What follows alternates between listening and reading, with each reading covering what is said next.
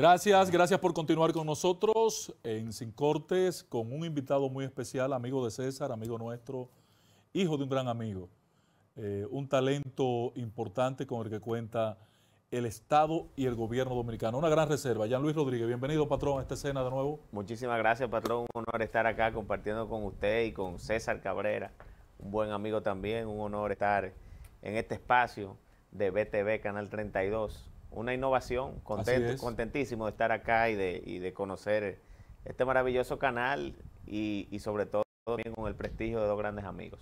Así es. Jean Luis, comencemos por, por el tema de autoridad portuaria, por favor. Sí. Porque es un tema que le hemos dado seguimiento desde que tú estás al frente de la institución, llegaste allí con una serie de planes, ampliar, reconstruir toda nuestra capacidad portuaria, creo que lo has estado haciendo, una nueva visión de lo que es el tema del crucerismo en República Dominicana.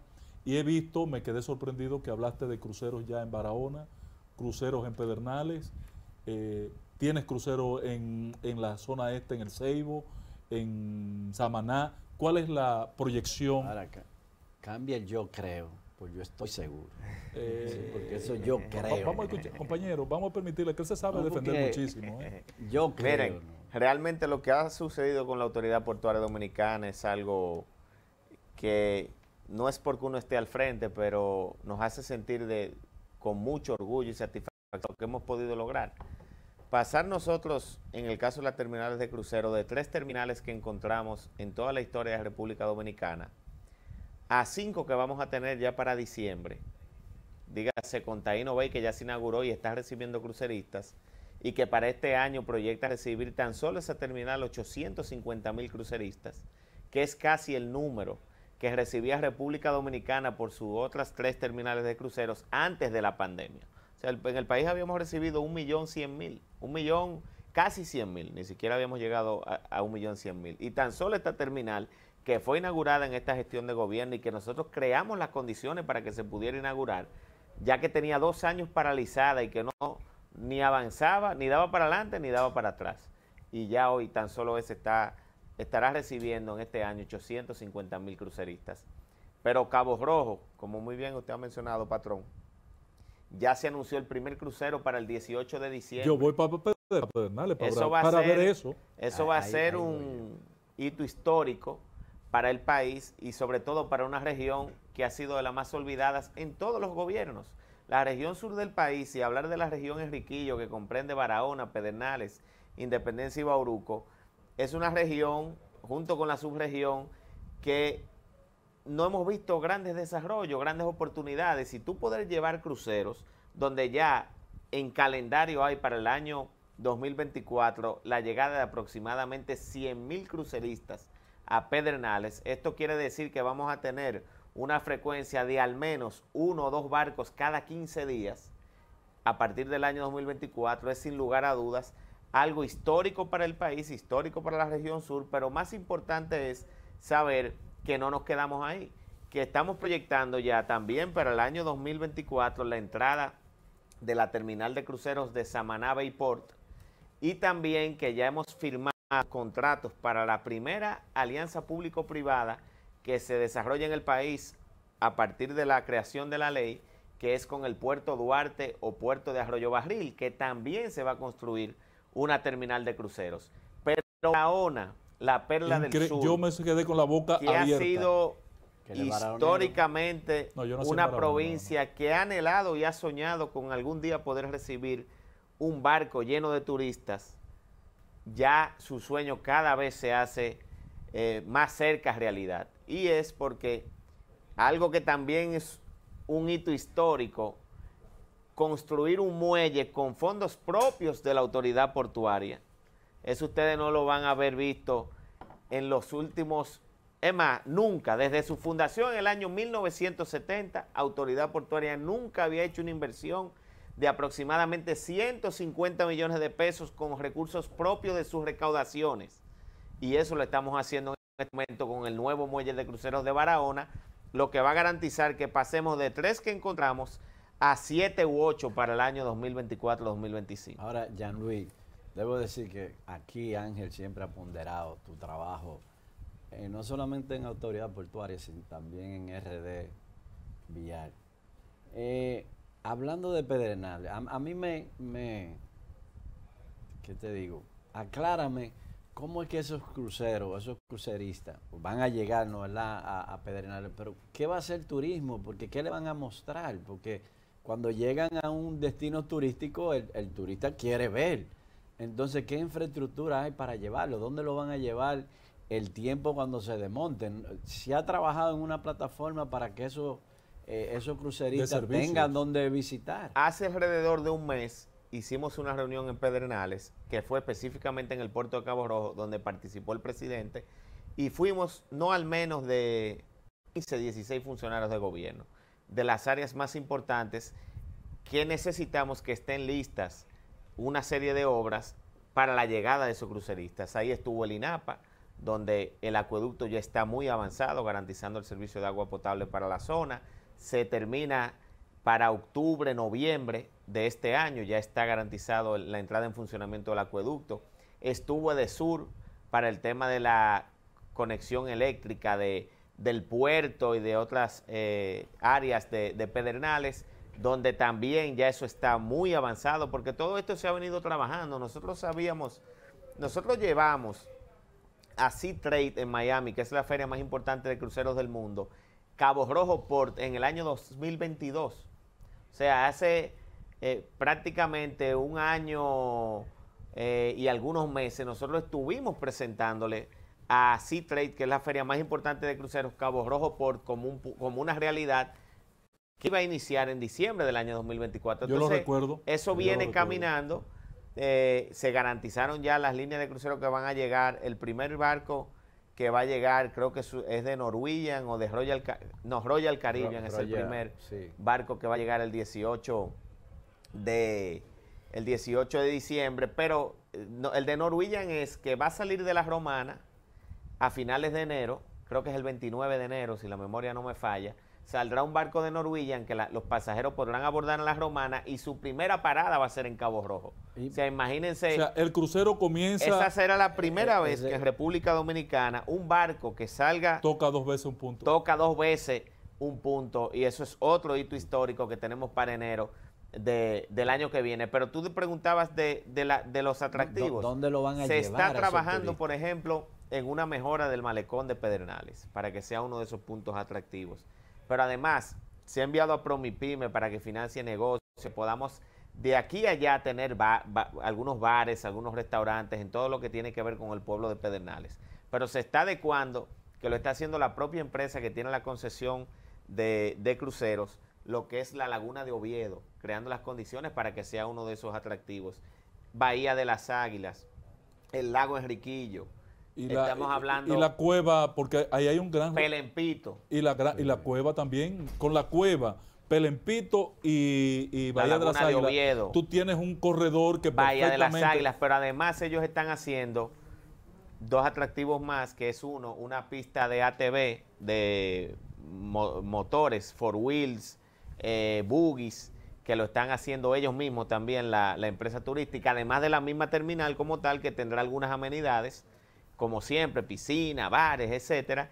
Y súmale a eso también que ellos van a tener también eh, paseos a caballo. O sea, esta, esta empresa, que su primer ejercicio fue el, un puerto que se llama Costamaya en Majagual, México, que tiene que tener eh, ciertas décadas. Además, ellos tienen experiencia porque tienen el puerto de Roatán en Honduras. Eh, tienen, bueno, ya está ahí Novellos, es una empresa con, mucha experiencia, pero su fuerte, y fue lo que ellos lograron en Majagual, tú preguntas por Majagual y nadie sabe que hay un puerto, ahora tú preguntas por Costamaya y todo el mundo conoce Costamaya porque ellos son expertos en desarrollar destinos.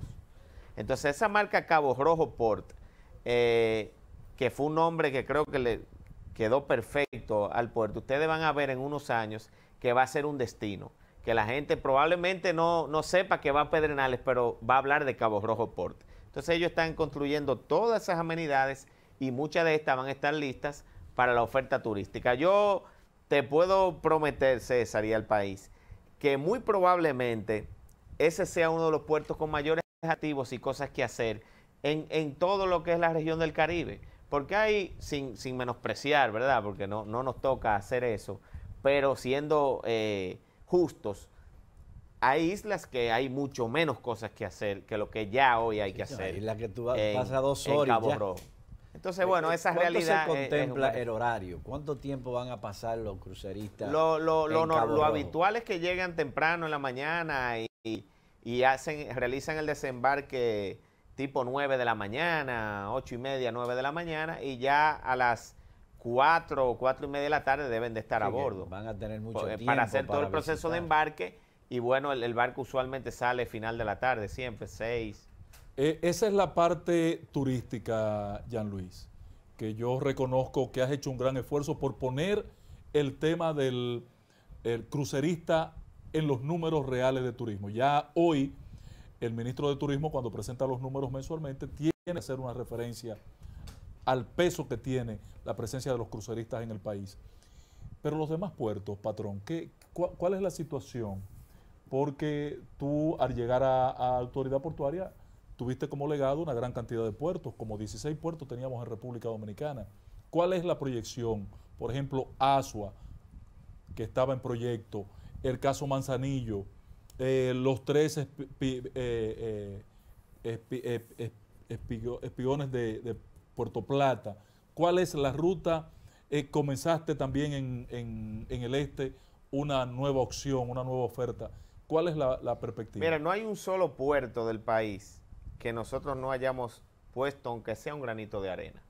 Y eso se debe a que empezamos a ver el potencial de cada uno de los puertos que teníamos a mano y qué podíamos hacer para mejorar sus condiciones, ya fuera trayendo inversión, que es algo que yo le decía recientemente a unos amigos.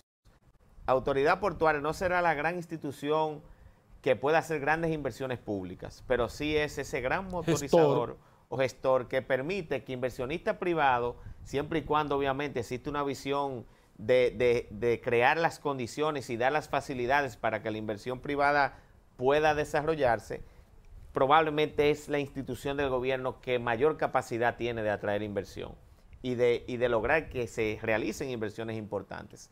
Y por eso nosotros, podemos tomar, por ejemplo, el puerto de, de Boca Chica, donde cuando nosotros llegamos operaban básicamente dos empresas. Ya nosotros hemos hecho eh, contratos y hemos permitido que empresas, para ponerte un ejemplo, como eh, Cementos Panam, que tenía un pequeño almacén allí, nosotros le diéramos las facilidades para que ya empiecen en los próximos días un almacén mucho más grande y, y desde el puerto de Boca Chica sea prácticamente el hub ya de Cemento Panam para el tema de exportación de cemento. Pero nosotros encontramos allí, por ejemplo, en su momento un muelle que estaba totalmente inhabilitado, que tenía una embarcación que tenía siete años abandonada, ocupando dos muelles del puerto de Boca Chica. Nosotros logramos en tan solo siete meses de nuestra llegada sacar esa embarcación que tenía siete años y nunca la sacaron, enviarla con la Armada ya para fines de, de, lo que le llaman el, desguace, ¿verdad? De la, de, la, de la embarcación y habilitar esos muelles y ya en uno de esos muelles eh, nosotros hemos logrado hacer contratos para que una empresa desarrolle ahí un mini astillero, un pequeño astillero que va a construir embarcaciones de tamaño pequeño. Eh, no embarcaciones muy grandes, pero que eso ya pasa a ser una, una empresa que va a generar empleos, que va a generar ingresos a por Había una oferta a esos fines en Manzanillo y otra aquí en Baní. Correcto, pero este no es la misma dimensión. Manzanillo era un proyecto mucho más ambicioso pero es algo que no, no existía y que ya Boca Chica hoy, en los próximos días, se inician los trabajos para el desarrollo de, esa obra. Pero también hay una empresa que se ha acercado a nosotros que tiene que ver con la exportación de melaza para llevar a las islas. Igual estamos gestionándole un espacio en el puerto de Boca Chica. O sea que solamente hablándote de Boca Chica tendrá tres o cuatro operaciones que no tenía y que era un puerto lento en términos de, su, de, su, de sus operaciones. Pero por ejemplo, en el caso de Caucedo, Caucedo, que sí tiene una cantidad de terreno impresionante, eh, tan solo en lo que va de gobierno han hecho inversiones por más de 200 millones de dólares. Desde el inicio del gobierno hasta la fecha, en la expansión del puerto, en los centros logísticos, y todo esto demuestra la confianza que hay, no solamente en la gestión de nosotros, sino obviamente también en el gobierno del presidente Luis Abinader. Pero puertos como Asua, que nunca nadie le había puesto la mano. y nadie recuerda a Asua, yo no sé por qué, es un puerto histórico. Y ese puerto, tan solo para este año, nosotros tenemos inversiones en adecuación de las oficinas, reparación al muelle existente que tiene años que no se repara, una inversión de aproximadamente 25 millones de pesos con fondos de la Autoridad Portuaria Dominicana. Pero Barahona ya mencionábamos que estamos invirtiendo 150 millones de, pesos en lo que es el, muelle de cruceros de Barahona, pero turismo va a construir en Barahona la terminal que va a, recibir eh, los cruceristas. Pero en ese puerto, por ejemplo, nosotros viabilizamos a, la empresa Belfon Enterprise, que es la que exporta el carbonato de calcio, viabilizamos el desarrollo del muelle en el que ellos hoy operan, que ese muelle tenía cuando nosotros llegamos prácticamente un año paralizado, que no, se, no, no daba igual ni para adelante ni para atrás. Correcto. Nosotros logramos en ocho meses posterior a nuestra llegada que el presidente ya estuviese inaugurando. Sí, ahí vi yo que ese intervino Manuel Estrella con, en esas operaciones. Y eso es una nueva operación y nuevos ingresos para la Autoridad Portuaria Dominicana, pero ya sabemos Cabo cuál es el futuro de él. Manzanillo, que es el puerto que históricamente en República Dominicana ha sido estratégico para un sueño, un sueño y que todos los gobiernos la historia data de más de 20 años de gobiernos prometiendo Manzanillo se va, Manzanillo se va a realizar, Manzanillo se va a hacer. Nadie lo hacía. Ya Manzanillo se aprobó un préstamo por el BID, que ustedes lo saben, que ya está en ejecución una parte de él para el tema de la infraestructura vial, que se divide en dos aspectos. 57 millones de dólares aproximadamente en carreteras, su infraestructura vial desde Manzanillo hasta Santiago, y 43 millones de dólares en el puerto, que esto va a aumentar porque ahora, luego ese préstamo fue aprobado hace varios años, ustedes saben con el tema de los ajustes, de los precios, etcétera, podrá incrementarse quizás un 7, 8%, serán algunos 7, quizás 8 millones de dólares más, pero ya la licitación del muelle se hizo, fue adjudicado. ¿Qué significa esto? Que ya existe un contratista, que esa licitación la ganó una, una empresa de prestigio de, del país, que es Malespin, en un consorcio con una empresa extranjera, y ellos son los que tienen la construcción de ese muelle, que ya para el año 2025 tendremos el nuevo muelle del puerto de Manzanillo. Ahora, eh, eh Jean Luis, hay un, el puerto de Santo Domingo.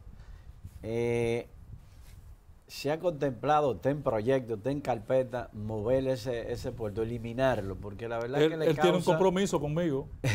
no, ya Luis tiene un compromiso conmigo. Sí. Eh, porque tú sabes que de ahí... De sacar de ahí la carga, esa carga no puede seguir ahí. Eh, muchos camiones que necesariamente por una... Bueno, ya nosotros en el ayuntamiento en una ocasión lo prohibimos, la circulación, pero eso es casi imposible. Ya Luis no puede dejar a la autoridad portuaria con ese muelle hay, ¿Hay en carpeta algún plan para mover ese, ese puerto de ahí? Se ha hecho un esfuerzo. escúchame César, la última vez que tú estuviste conmigo en este programa fue vía web y acordamos que tú ibas a hablar con Luis para convencerlo de que saque la carga de ahí. Se ha hecho un esfuerzo y realmente se ha conversado sobre la posibilidad de ver cómo se hace un híbrido, turismo y obviamente carga, porque se maneja un volumen de carga importante, sin la necesidad de que eso afecte de una manera u otra lo que, lo que ya César, que tiene una experiencia muy importante en lo que es el tema de la alcaldía del Distrito Nacional y, de la, y del Distrito Nacional como tal para ver cómo ese flujo, obviamente que, se hizo el esfuerzo en su momento y en este gobierno se, intentó también, que era migrar todos los camiones a que utilicen la, circunvalación de Santo Domingo. Eso no ha sido oh, perfecto, se ha dado de manera positiva en algunos casos, pero ha sido mínimo. pero la solución eh, final de eso es eliminar la carga en ese puerto, que tú la puedes trasladar a, a Punta Caucedo o a Jaina perfectamente. Y concentrar eso como imagen de, la capital. Esa es la imagen, es la entrada a la capital.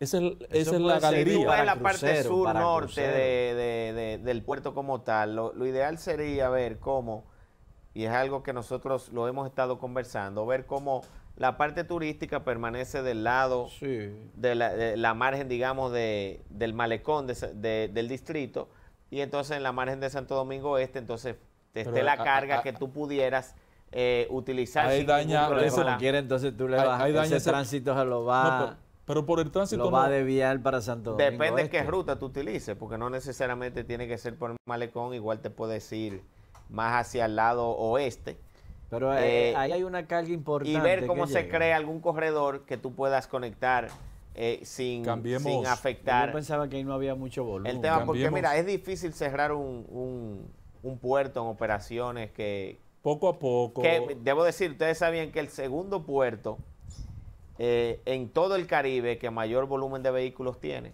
es el puerto Bueno, pero el, el de San Bien. Susi, del lado de San Susi. Sí, Correcto. bueno, pues dejar de aquel lado con los vehículos, pero de este lado hay que hacer la ventana, la puerta de esa ciudad colonial. Ya Luis, tenemos que hablar obligatoriamente de la segunda tarea que te ha asignado el presidente de la República. Eres el único funcionario en este gobierno. Pero antes de salir de Portuaria, yo quiero resaltar el tema de los muelles pesqueros, Ah, sí. que es una iniciativa Pero, de eh, esta gestión. solamente el de Puerto Plata fue que creaste. No, nosotros tenemos una impronta en muelle pesquero que no la ha tenido ningún gobierno. Nosotros ya inauguramos Puerto Plata, muelle pesquero. En Luperón, de, de- que tiene que ver también con Puerto Plata, hicimos el muelle de velerista y el muelle de pescadores. Boca de Yuma ya fue inaugurado, que es un muelle pesquero. Inauguramos el muelle pesquero de Boca Chica. Y ya para estos días tenemos cuatro para inaugurar. O sea, en el mes de octubre el presidente Abinader junto a nosotros va a inaugurar cuatro muelles pesqueros, que son el de Palenque, en San Cristóbal, el muelle pesquero de Cabrera, en la provincia de María Trinidad Sánchez, el muelle pesquero de Sánchez, en la provincia de Samaná, y el muelle pesquero de Cabeza de Toro, en provincia de Altagracia. Bueno, entremos al tema de RD Vial, la segunda tarea que te ha asignado el presidente. Hemos visto en los últimos días algún escarceo, la gente molesta en, en los, en los peajes. Eh, tú te has propuesto modernizar, transformar eh, estos espacios de servicio. También ya está en proceso la construcción del nuevo peaje de la autopista Duarte. ¿Cuál es la proyección que tenemos? ¿Qué puede esperar de tu paso por RD Vial el pueblo dominicano? Mira, el sistema de peaje dominicano es un sistema de peaje que nosotros recibimos en muy malas condiciones. Un sistema de peaje obsoleto desde el punto de vista tecnológico, con grandes debilidades, y que desde el punto de vista también de infraestructura como tal estaba muy deteriorado. Nosotros nos propusimos una primera etapa adecuar las estaciones y por eso pasamos de ese naranja eh, un poco horrendo, porque ya estaba muy deteriorado a unas estaciones que hoy son gris, eh, con, con una visual diferente. La, la visual desde el punto de vista eh, visual, valga la redundancia, ha mejorado bastante la señalización. No, y Nos sobre todo el establecer espacios de vía rápida. nos hemos encargado de señalizar adecuadamente tanto una, una cantidad importante de metros antes de llegar a la estación, como ya cuando estás en la estación hemos homogenizado las estaciones. ¿Qué es homogenizar? Bueno, anteriormente tú tenías un, un mix ahí bastante extraño porque tú tenías estaciones que el paso rápido estaba a la derecha, otra que estaba en el centro, otra que estaba a la izquierda, y uno nunca sabía hacia dónde dirigirse cuando tú llegabas a una estación si tenías pasos rápidos, porque en algunas estaciones, reitero, estaba en un lado, en otra en otro. Entonces, ¿qué nosotros hicimos? Bueno, homogenizamos. Hoy todas las estaciones en República Dominicana, el paso rápido está a la izquierda y el efectivo está a la derecha. Y los carriles son exclusivos. Antes habían un mixto... eh, que tú podías pagar o, o que pasar. era de que paso rápido efectivo. Y tú- entonces, como que eso era bastante confuso y no le hacía sentido al que tenía pasos rápidos, porque si alguien que tiene efectivo podía pasar por ese carril, ¿qué exclusividad tenía pasos rápidos? Entonces, segunda etapa. Luego que hicimos eso, entonces dijimos, bueno, vamos a ampliar los carriles de pasos rápidos. Y empezamos un proceso donde estaciones como las Américas, que tenía tan solo dos carriles de pasos rápidos, pasó a tener seis carriles de pasos rápidos y los otros efectivos. Eso en, en su origen generó cierto disgusto, cierto malestar, Sí. pero nosotros estábamos conscientes que era la decisión correcta para nosotros pasar a la modernización de las estaciones de peaje del país. Y logramos, eh, que fue algo histórico, en cuatro meses pasar de un 23% de usuarios de pasos rápidos en todo el país a un 43%. Duplicar. Duplicamos el número de usuarios de pasos rápidos. Por estaciones, por ejemplo, como Coral 1, Coral 2, que están en el este, que son las de la autovía del este, y la romana, tuvimos estaciones que alcanzaron hasta un 53% de pasos rápidos, o sea que el paso rápido superó el uso de efectivo. Obviamente, algo que nosotros quizá no estábamos eh, tomando en consideración era que a mayor, obviamente, número de usuarios de, de pasos rápidos, mayor iba a ser la carga en el sistema, mayor, el sistema se mayor iba a ser, eh, obviamente, también el número de reclamaciones, porque tenía, tiene y ha tenido debilidades el sistema. Entonces, ¿qué dijimos? Bueno, ahora vamos a enfocarnos cuando empezamos a ver esas, esas situaciones que se estaban presentando, en ver cómo las corregimos.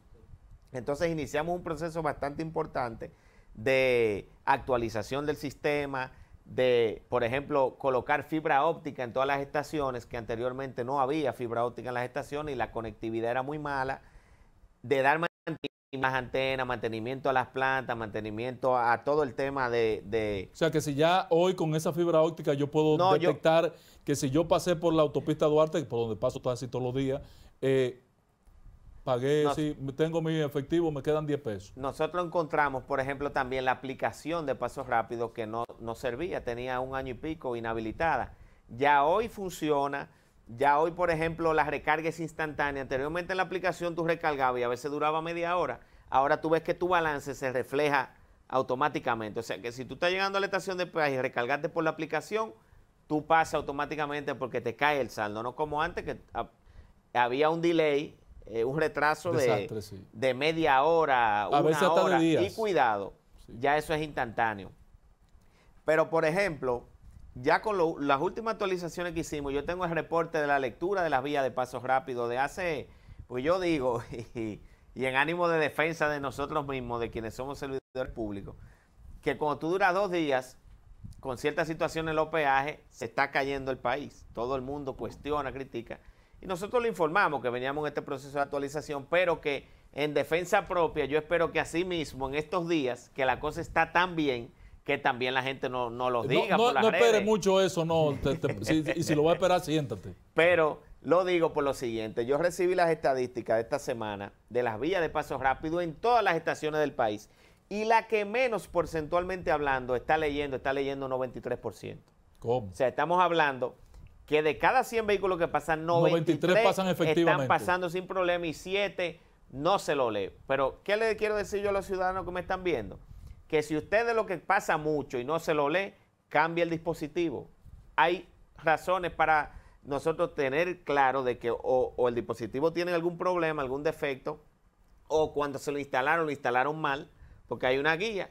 Y yo he estado en la estación de peaje, porque yo soy de los que voy al terreno y veo qué es lo que está pasando, donde por ejemplo llega un usuario y el paso rápido, que dice bastante claro dónde tú tienes que ponerlo, el usuario lo tiene instalado al lado del malvete, allá en, el lado derecho del vehículo. no lo va a leer No se lo va a leer porque la antena está graduada para leerlo específicamente donde dice, donde dice el instructivo. Se gradúa para eso. Entonces, hay personas también que llegan con el paso rápido en la mano, que no lo han instalado en el cristal. y que cuando están llegando lo colocan así en el cristal y si no se lo lee se quejan y tú le dices, pero tiene que instalarlo. No, que yo lo uso en varios vehículos. Entonces, esos son, eso entran dentro de ese porcentaje que no, que no lo lee y otros que simple y llanamente es deterioro, que tienen ya seis años con el, con el paso rápido instalado, eso le da sol, eh, se va, es como cualquier dispositivo, se deteriora. Entonces, si a usted le pasa mucho con frecuencia, sustitúyalo. Pero nosotros tenemos vías en el territorio nacional, que es donde más hemos hecho estos operativos, por ejemplo, en, en los corales, Hoy día nosotros tenemos vías que están leyendo 97, 98, 99. ¿Pero qué podemos esperar, Jean-Louis, en los próximos meses? Ya Mira, eh, la, crisis que se presentó hace una semana está superada. Yo entiendo que ha sido superada. Ahora, que yo creo que va a ser un algo eh, vital y, que es algo anhelado por todos. Por ejemplo, la integración del Nordeste al paso rápido. Todas las estaciones, como eran de la concesión del famoso peaje sombra, no tienen pasos rápidos. Nosotros ya de aquí a diciembre estamos organizándonos para que todas las estaciones del Nordeste tengan pasos rápidos. Pero la colocación de nuevas antenas para que la lectura, que está muy buena hoy, que digo, la, que menor porcentaje tiene es 93, pasen a ser prácticamente todas 100%. Seguir ampliando el paso rápido, seguir colocando el dispositivo y obviamente adquiriendo nuevos, eh, nuevos equipos para las estaciones de peaje, porque la vez que muchas veces tú pasas por una estación de peaje y el brazo, por ejemplo, en el lado de efectivo es un brazo que ya está deteriorado, que lo han chocado, que hay que repararlo porque no hay un stock suficiente. Nosotros nos estamos planificando para cambiar todos los equipos, tener equipos nuevos en todas las estaciones, garantizando años de servicio, décadas de servicio y tener un stock importante para que el día que haya algún accidente que no lo encontramos nosotros, aquí nosotros tenemos que estar reparando piezas de las estaciones de peaje para que quede claro, reparando piezas porque no hay un stock de piezas de que se dañó una barra eh, que hay que sustituirla, no, usted tiene que reparar la que existe, se quemó un switch, esos switches son muy específicos y la ley de compra no te permite tú comprar, en, minutos. Es imposible. Entonces, ¿qué estamos haciendo ahora? Hicimos un diseño donde ya tenemos una planificación de compras, en el plan anual de compras, donde vamos a hacer un stock que vamos a tener piezas para En un minuto, Luis, ¿qué es el instituto este que, tú has formado de capacitación? Eh, Portuario logístico. exacto. El IMPLOC, que es como se llama, es, es el primer instituto portuario logístico de la República Dominicana y del Caribe. Fue una iniciativa de la autoridad portuaria. Yo recuerdo que cuando yo se lo presenté a la Asociación de Navieros de la República Dominicana, me dijeron, mira, esto siempre se ha hablado, pero nunca se ha hecho. Lo, hemos escuchado, eh, lo vemos bien y como que no me prestaron mucha atención en ese momento porque entendían que iba a ser lo mismo que pasaba en, gobiernos quizás anteriores. Nosotros como eh, una iniciativa propia dijimos, miren, como aquí hay un tema económico, vamos nosotros a poner la mayor parte del, dinero. Y invertimos alrededor de 10 o 12 millones de pesos en la creación del IMPLOC. Y ahí obviamente vino después la inversión eh, privada. Y hoy es una realidad, es un instituto que está al servicio de las empresas del sector para capacitar a su personal, que había un déficit enorme en términos de, formación. La empresa Chat, que es una de las navieras más antiguas del país, donó el local, que es donde está donde estaba la, naviera Chat en sus orígenes, que es en la George Washington, casi frente a Montesinos. Y ahí está funcionando hoy el Implog, donde se imparten cursos técnicos y, diplomados enfocados al sector. Esto es un gran legado que va a continuar por muchos años porque hicimos un, board o, una directiva de, del IMPLOC que sus, sus principales eh, directivos son los principales ejecutivos y navieras del sector. Y donde la Pordón, que fue algo que yo, yo, yo decía, bueno, mañana nos vamos del gobierno, vendrán otros actores y quizás no le dediquen el tiempo, vamos a tratar de que esto lo lleve el sector privado con apoyo del sector público y que Apordón tenga un asiento, que lo garantizamos en sus estatutos, donde siempre la autoridad portuaria tendrá un asiento y podrá también capacitar a su personal en el instituto. Gracias, Jean Luis. Gran placer tenerle aquí, patrón. Se me quedaron varios temas. Habrá que hacer otro programa contigo. Eh, pero sin César, porque César lo que viene a tirarte la toalla aquí. Gracias a usted, patrón, y a César. Un honor estar acá. Gracias a ti. gracias. gracias a todo nuestro público. Señores.